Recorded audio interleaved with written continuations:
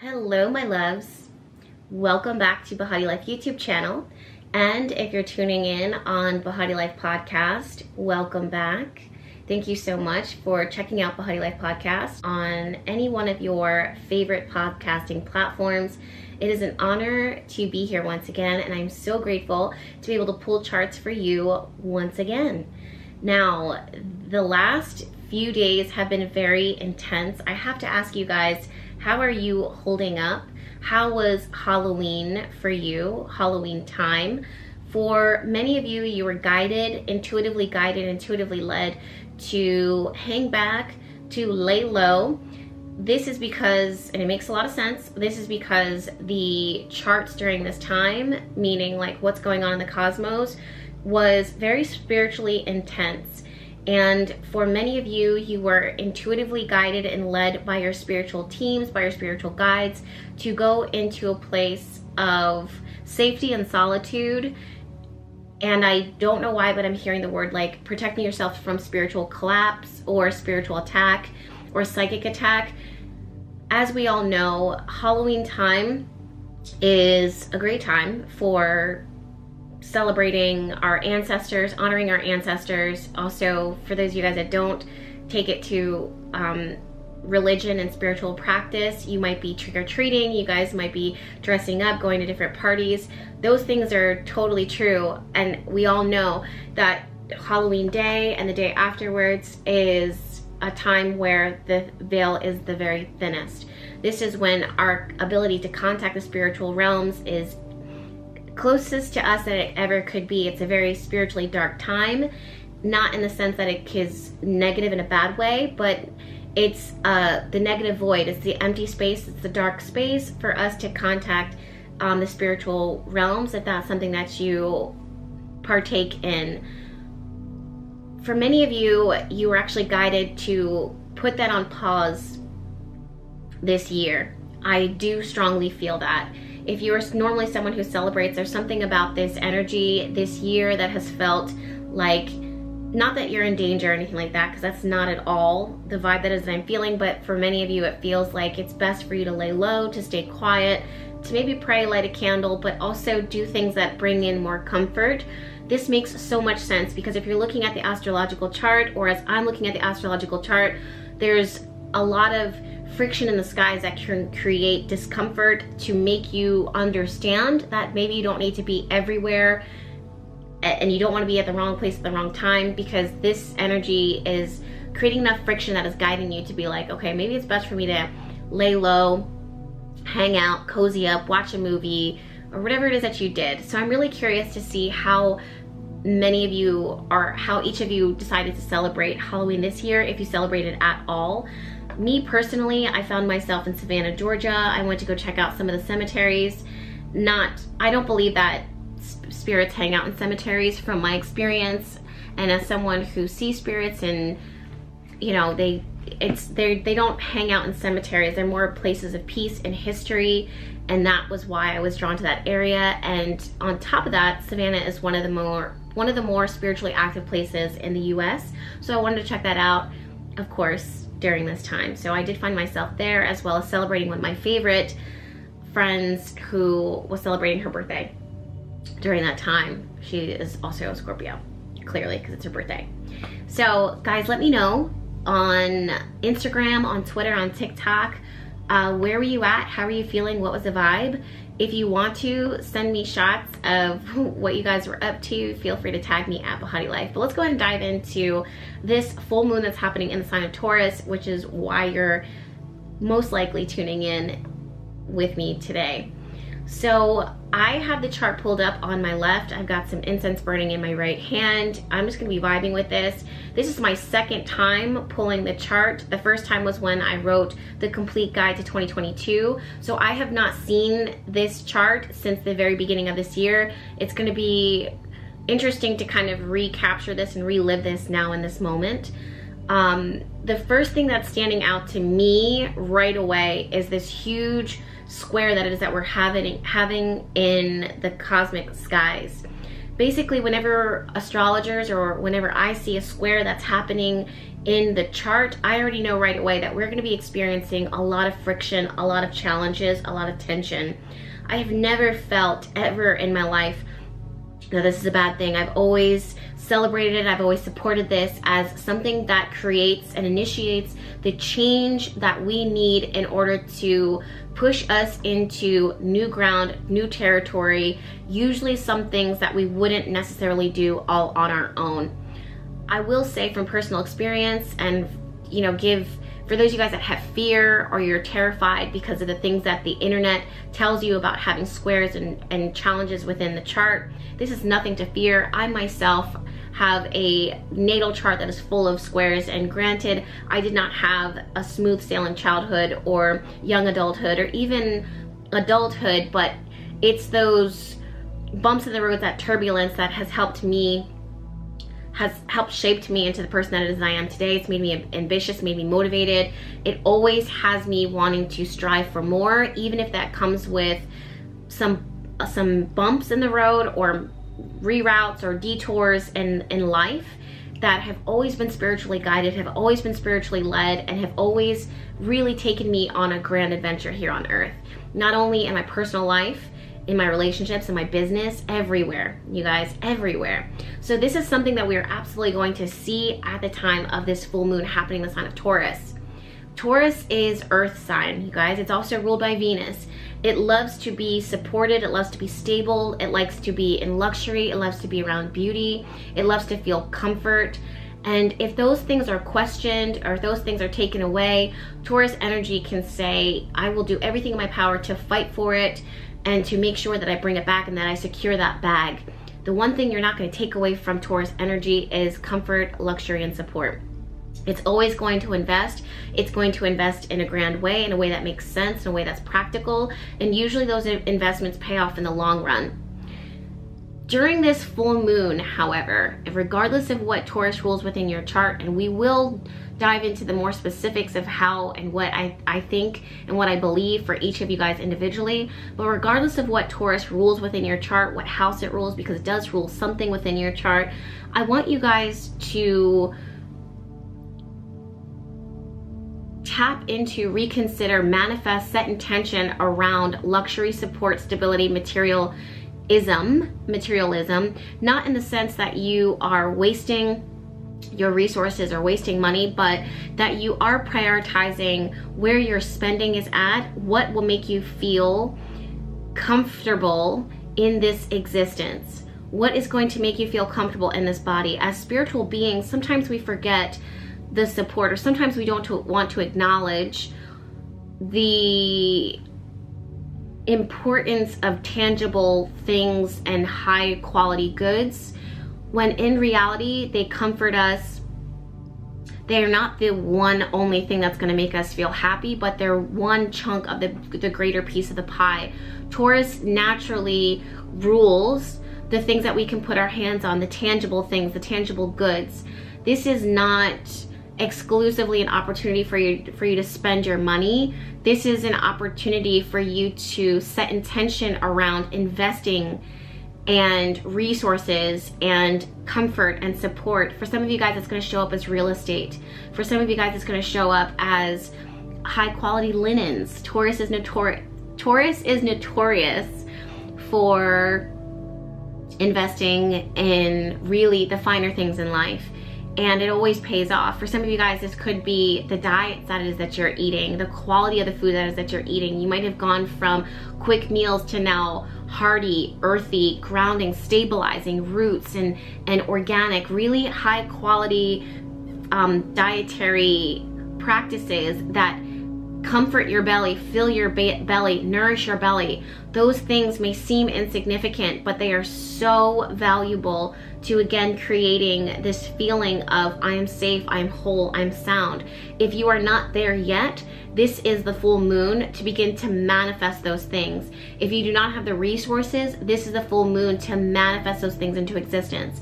Speaking of manifestation, we are entering into some really turbulent financial times we are not surprised by this. I don't feel like anybody would be surprised by seeing this. They've been talking about a recession for the longest time. However, they haven't completely announced it. This is because a lot of these planets, Neptune, Jupiter, Uranus, Mars, less Mars, but more the other planets that I just noticed or that I just mentioned, those planets are retrograde. So there is a lot of hesitation when it comes to fully initiating a title on anything and this also includes the things that is that we're seeing in our society. The truth is is that we are really in prime time uh, recession times. It's it's clear it's obvious but the only reason again why they're not announcing it is because these planets are retrograde. Stopping energy from fully calling something what it is or expressing fully expressing it for what it is. I do want you guys to financially prepare for um, more dips and curves and twists and turns when it comes to our finances, when it comes to our resources, also when it comes to real estate, especially at the time of the full moon. These are dips and swings that were already building, but we're going to start to see more signs of it. There may be major announcements that we see in the news at the time of the uh, at the time of the full moon, things that have to do exactly uh, when it comes to or have exactly to do with um, the earth, how we're taking care of the earth, investments, real estate, finances, stocks. These are things that are going to swing up, things that are going to swing down. If I were you, I would work magic around stability when it comes to your finances, stability when it comes to spending, and also your your intuition i i really strongly as i'm saying this my crown chakra is tingling. I really strongly suggest that you rely heavily on your intuition and not so much on what logically makes sense or trends. The way that things are falling in the in the planets right now you're not going to find that things are following trends things are swinging in radical ways, radical shifts. We're also seeing this in how people are moving. The way that we have um, realistically have been able to plan and predict things in the past as far as how society kind of trends are not things that we can do at this moment in time. It's way too unpredictable. If you're finding anyone on the internet or telling you that this is the way that it's going to be, and that this is exactly what you can expect, I really want to question that because literally there's so much of a black hole or a black space, a blank space here that as human beings and even intuitive beings, there's there has to be the element of surprise here. There has to be. There is such a thing as divine intervention and divine wisdom and divine vision that not that here on earth we're not always going to be able to see it. No matter how intuitively gifted you are we can get close to it but we're never going to be able to see that full picture.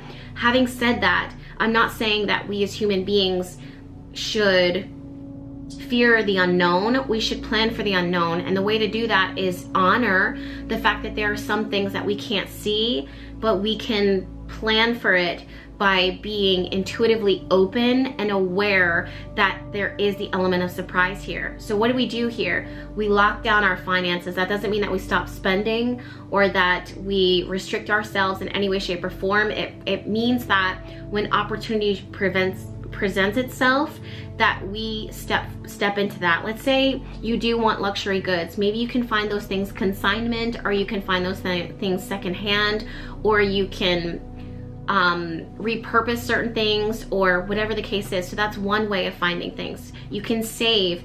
I really strongly suggest working money around, I'm sorry, working magic around money, resources, financial advances, especially when it comes to incorporating divine intervention over your finances and your investments.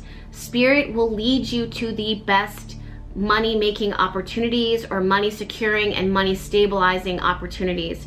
For many of you, you'll be able to wait at the right moment, the right time in order to sell real estate um, and also to invest or sell stocks. These are things that are happening here. I also see heightened energy when it comes to environmentalism and investing in environmental stocks, things that revolve around like green living, electricity, um, or energy conserving, how we use our energy or how we um, like sustainable energy resources. Those are things also perma, like permaculture. I don't know if that's something that that's what Spirit just told me. I don't know what permaculture is, but anything having to, well, permaculture, whatever that is. And also, if someone can tweet that at me or explain that to me, I would love that.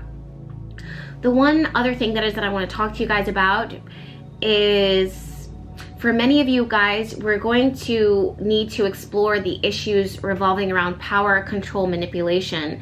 Not manipulation in the sense of using your power in a way to take advantage of other people. Manipulation is a word that is constantly used and abused. Manipulation ha- is your ability to understand how you have the power and the control to initiate change that matches or helps you to secure your intention or manifest your intention. That's what manipulation actually is. If your intention is for evil, then of course manipulation is going to be something that's evil. If your if your um, manipulation is for something that's positive and constructive, then of course then that's going to be your outcome. So you have to understand that how you think, how you move, what you're attracted to are things that are reflections of the subconscious and your subconscious beliefs. At the time of the full moon, let's not only are we going to work about on the earthy tangible, but we're going to work on the subconscious emotional, like the emotions, the subconscious, the magic, the dark, the things that it is that we may not necessarily be comfortable seeing, experiencing, exploring, sharing. These are things that we may find ourselves kind of like holding secret, things that we may be uncomfortable um, discussing, sharing, intimacy, sexual expression, obsessions. These are things that Scorpio naturally rules.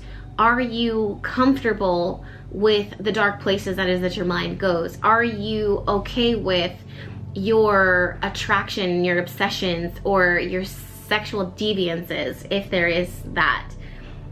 This is a time at the full moon to explore that there is the sun that is navigating and transiting through the sign of Scorpio. So the sun is where our energy, our light is focused on. Our moon is the thing that is that we need in order to feel supported and stabilized. The sun lights up the secrets of the scorpion energy here that is in every single one of our charts. So secrets can be lit up at the time of the full moon. Things that you may not necessarily want to see or hear or even express, but they're going to be. They're going to show up. These are dark feelings or things that we may not, there may be shame around it, or there may be secrets there, or addictions that you have to face, or subconscious fears that you've been running away from. And the fact that you're running away from them, they kind of control the path that you're allowed to take because you won't allow yourself to see certain things or address or deal with certain things, now's the time to deal with it. You have to show up, you have to face them. It's beautiful, it's potent, it's magical, it's it's phenomenal. It's here, it's present. Me personally, I'm gonna be in Costa Rica for this. I specifically and intentionally arranged a beautiful trip to Costa Rica with some really magical people here in the Behati Vibe tribe. They're gonna be meeting us down there or meeting me down there, me, myself, and I, we are going to be working some rituals, working some magic uh, in the most beautiful watery place I could ever think of, exploring the emotions, exploring the subconscious, exploring adventure, and pushing past a lot of fears in new comfort zones and in the most beautiful thing that is that we can think about. That is the most Scorpio Taurus thing I could ever, I could ever. and I'm definitely here for that. So that's how I'm gonna be working this, my magic. I will not be doing an oil during this time, of course, because I will be in Costa Rica um, exploring there, but I do want to encourage you guys to work magic around, you know, your own personal power, your own ability to show up for yourself and to, to heal and to experience and to explore and to release anything that stops you from feeling powerful, from feeling in control, from feeling um it's, it's interesting too that I said in control because it's like this energy of like release the ability to allow yourself to completely expel and to let go and release anything that is holding you, binding you, holding you back. Um, I had a friend of mine just recently let me know today actually that for the first time in his life he's completely been called to release um, addictions, to release this this trauma that he's he's been holding on to, um, the emotions that he's been holding on to. He's finally allowing someone to see it, to hear it, to feel it. These are things that this is not his first time, but he's showing up for himself once again. He actually went to a therapist in the past and she actually kind of shamed him when he was sharing all of his dark thoughts and feelings and he, well he felt shame the fact that he's coming back and confronting those feelings is huge and this is such it literally is a prime example, a perfect example of the, the way that the charts are right now. We simply cannot continue to live in the same way that we always have. We have to do differently in order to experience differently. We have to completely let go of our fears in a controlled environment that makes us feel safe and supported so that we can be happy, thriving, budding, abundant, beautiful beings that we are. And usually our biggest obstacle and the, the only thing that really stands in the way of that is ourselves. So that's what I can see for you guys at uh, the time of this full moon.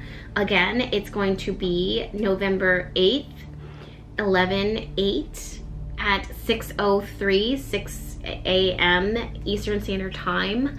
So please, I encourage you to set your intentions, work your magic. I highly recommend um, Deep Waters Healing Candle, the Banish Fix Candle. I represent the Pluto Death, I'm, I represent, but I also recommend the Pluto Death Oil. And I also highly recommend the Money and Abundance um, oil. And I also recommend the Money and Abundance Fix Candle. Those are things that are going to really shift your finances, your resources in a great way. They're going to protect your finances, your spending, and even create more opportunity and abundance during times where things are very, very tumultuous and unpredictable at best. I've always felt that if you have a spiritual team and the planet's working for you, nothing can work against you. And the best thing you can do at the end of the day is to set this set the intention, work your magic, and make things happen on the spiritual realm. I hope this makes sense, you guys. Please let me know if it does. Please give this video a thumbs up if it resonated because it does make a difference for me, my energy, my, my channel. I'm sending you guys all of my love. Please make sure that you are checking out Behati Life Podcast because I upload on that as well. And until then, you guys, make sure that you're following me on Instagram, and any of the other social media platforms because I'm constantly sharing uh, content for you guys there to help you, guide you along your way. Until then, I'll see you guys in my next video. You were created to live a life of magic, abundance, love, and blessing, all of which will be up to you to call into your life with perfect divine timing. Behati Life Apothecary is the magical home of Jessica Alexandria where you will find a wide variety of mystical items to help you to manifest your heart's truest desires, as well as tools to help you tap into your unlimited spiritual potential. Browse the online apothecary and find hand fixed candles to magnetize your intentions towards you. You'll find thyme and star soaked conjure oils charged to anoint your petitions, your body, and personal magical items. You'll also find the highest quality of herbs for creating your own potions and concoctions, and even reserve time and space with Jessica Alexandria herself, who will work with you to create something special and truly yours. Each item found within the apothecary are created with intention and alignment with the movement of the stars to make them even more powerful totems to bring into your own sacred space. Visit BehatiLife.com to browse the apothecary, and don't forget to follow Jessica on Instagram at Behati Life, where she posts daily messages to uplift, inspire, empower, and to remind you of your magical potential along your magical journey. Blessings to each and every one of you. I'll see you there.